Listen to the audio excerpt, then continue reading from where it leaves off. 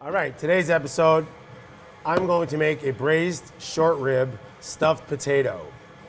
If you don't know how to make short ribs, you can go back to my surf and turf meets soup and sandwich episode, and that has all the details of how to braise short ribs of beef. This particular one, I'm already braised. So, already cooled them and shredded them. I'm going to saute them in a pan with a little bit of oil and sort of twice cook them, make them crispy.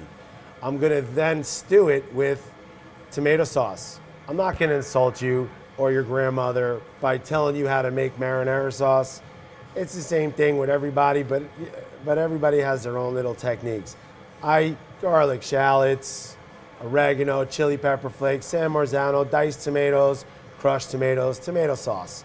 And then I'm gonna finish it with olives, capers, and dried cranberries.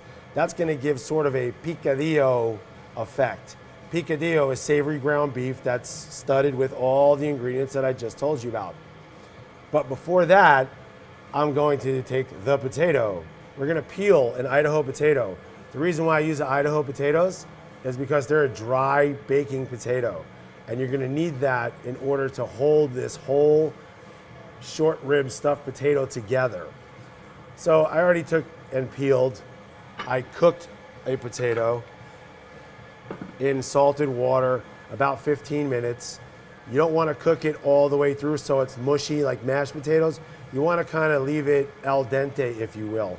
And then I'm going to grate it on my cheese grater and then show you how to stuff it.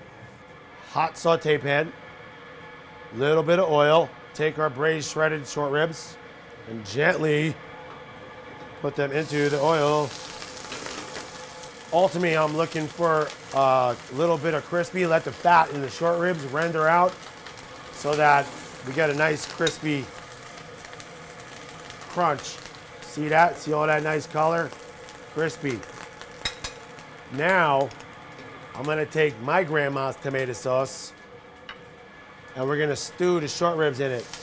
You don't want too much tomato sauce because you don't want this thing, this filling to be too wet or else it's gonna seep outside the potato and we're gonna have one big messy fried piece of mush.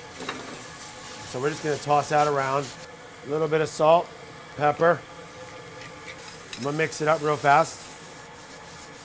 You don't want to add too much salt because don't forget we have to finish it with our capers, olives, and all that is salt.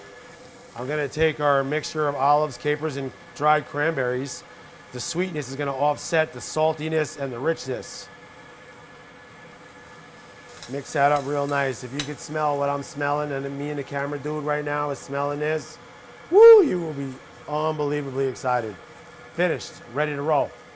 So I'm gonna just pop it on a plate and lay it flat on a plate so that it cools as fast as possible into the fridge. I'm gonna take my box grater and just grate the potato. That's what a potato looks like when it's grated. See that nice and fluffy. Salt and pepper. I'm gonna make a ball out of it. Not too tight.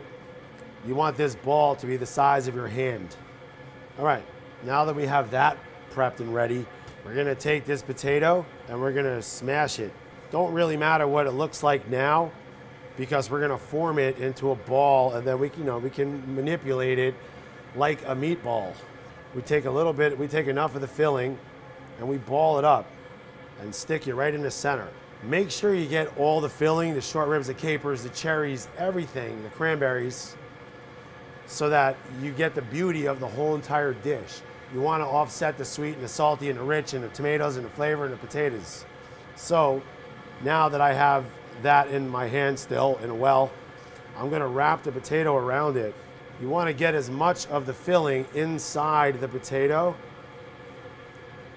but it's okay if it if if it peeks through a little bit, because now we're to bread it, a classic breading mixture. And because maybe we'll have a friend over or that's not to be big enough for you, I'm to make another one because I didn't eat breakfast today. So, yeah, that's it. Just like that. Keep the gloves on. I have all purpose flour. I have cracked whipped eggs. and my Japanese breadcrumbs. Make a line, make an assembly line. You're gonna take the potato and gently roll it around in the flour. Make sure that you have the flour on the whole entire potato. Before you put it into the eggs, you wanna just kind of pat it off or else the eggs won't stick to the, the clumps of flour. See that? Nice, just dusted. Then we put it into our egg.